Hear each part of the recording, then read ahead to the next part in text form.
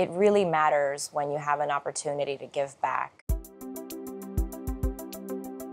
Being part of something that's bigger than myself, that's what brings me happiness. Being able to integrate your professional career with some of these other things that are important to you, it's critical to be happy at the end of the day. You know, this is our community too, and we want to participate and give back to it. People want those opportunities to make an impact and a difference.